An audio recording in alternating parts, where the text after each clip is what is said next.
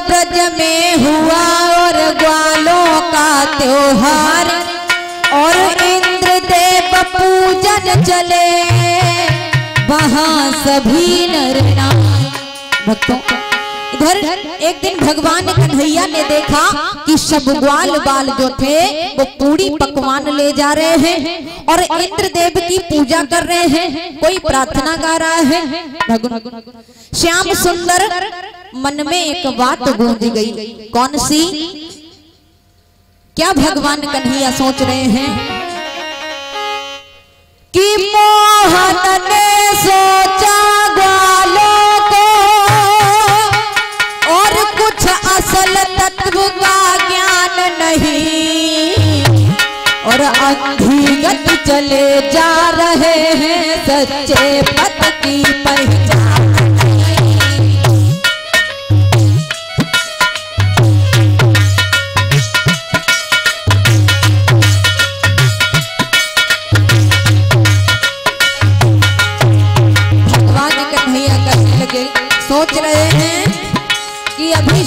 ग्वालों को इतना ज्ञान नहीं है। और क्या हुआ बंधुओं? मुझको दूसरे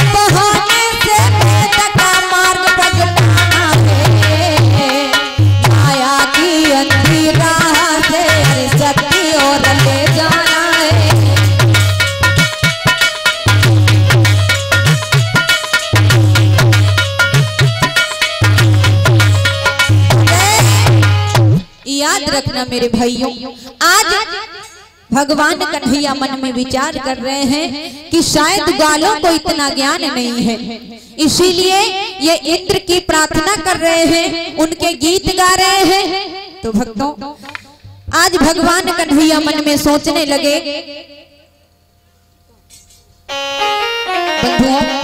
भगवान कन्हैया मन में विचार कर रहे हैं कि आज हमें मैया से पूछना चाहिए भगवान कन्हैया, मैया यशोदा के पास में जा कर के बोले हैं कि मैया, हमें एक बात बताओ, क्या? कि मैया यह आज नया उत्सव और किस लिए मनाया जाता है? किसके स्वागत सत्कारों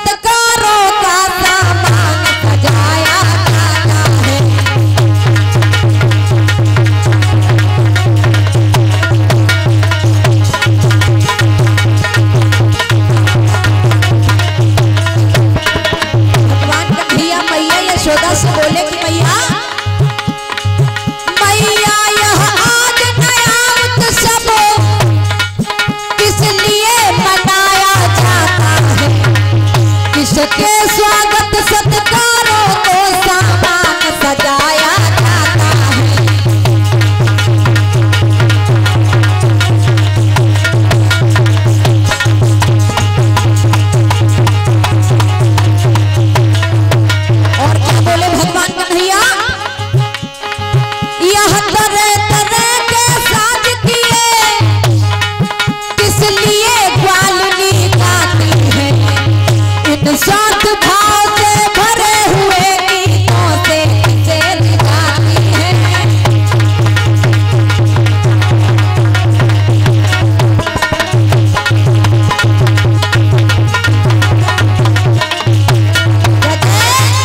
याद रखना बंधुओं आज भगवान कन्हैया मैया यशोदा के पास में गए हैं। और जवाब दिया है कि मैया यशोदा आज ये हर घर में इतने मीठे मीठे पकवान बन रहे हैं। ये किस लिए कोई त्योहार है? बंधुओं मैया यशोदा तो नहीं बोली। हुआ क्या? यशोदा तो चुप हो रही और बोले बाबा।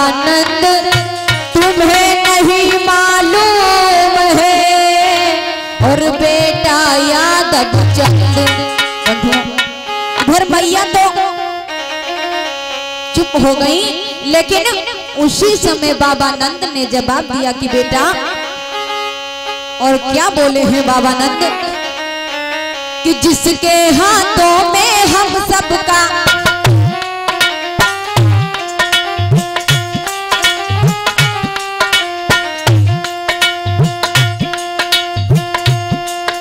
क्या जवाब दिया भगवान? कन्हैया को बाबा नंद ने कि जिसके हाथों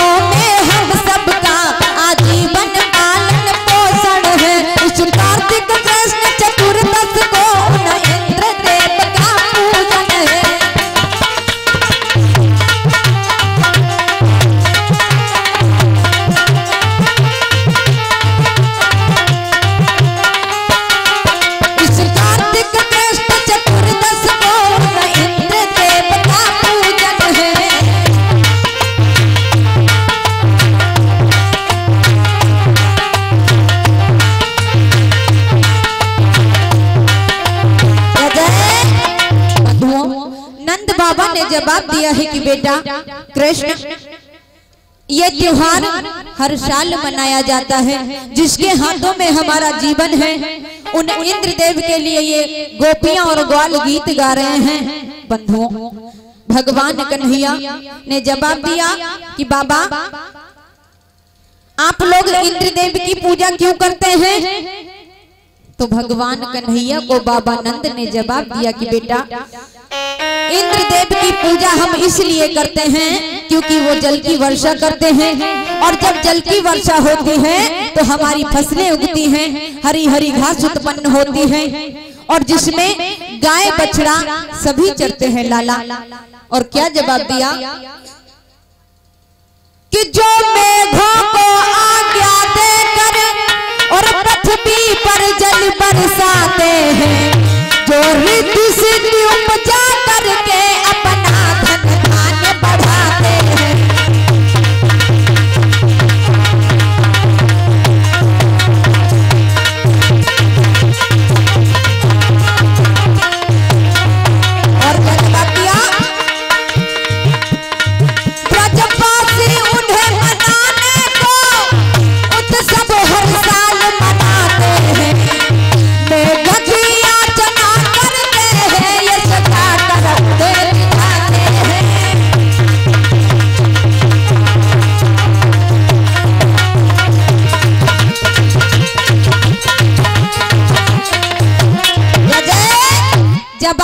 है बाबा नंद ने की लाला कृष्ण।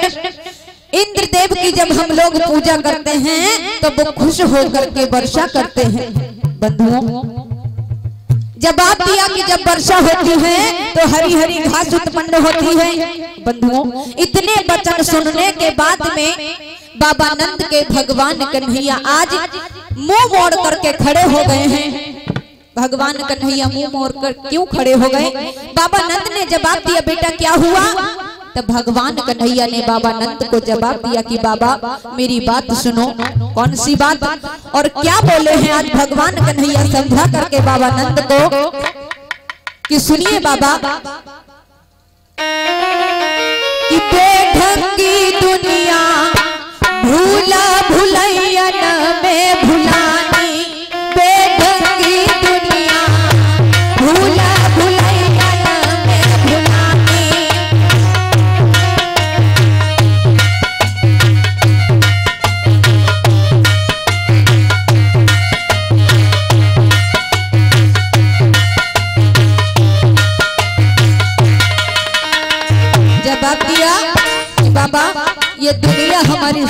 भरी हो चुकी है। इसे असली तत्व का ज्ञान ही नहीं है। और क्या समझा करके बोले हैं भगवान कन्हैया बाबा नंद को?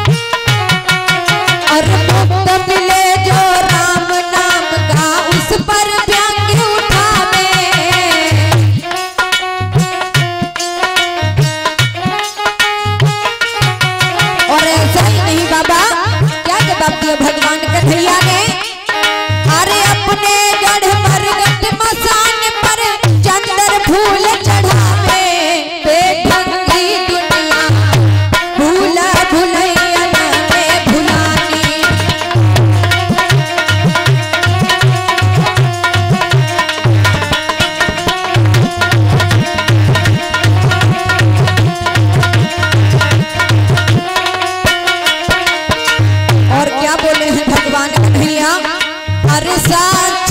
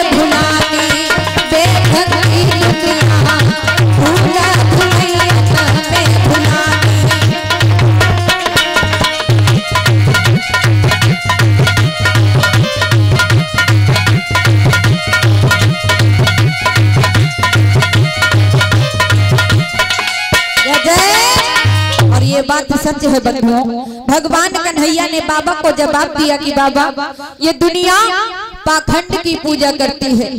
इसे असली पद का ज्ञान ही नहीं है। बंधुओं, एक बात याद आ गई तो मैं बता दूँ आप लोगों को कि हमारे हिंदुस्तान में पता नहीं सालों से कितने वर्षों से ये प्रथा चली आती है कि अगर बाप ने नीम पूजा तो बेटा भी नीम को पूजने के लिए चल दे। लेकिन कभी विचार किया कि ये नीम क्यों पूजा जाता है? विचार कभी नहीं किया। लेकिन नीम पूज रहे हैं। बंधुओं एक दिन की बात बता रही हूँ।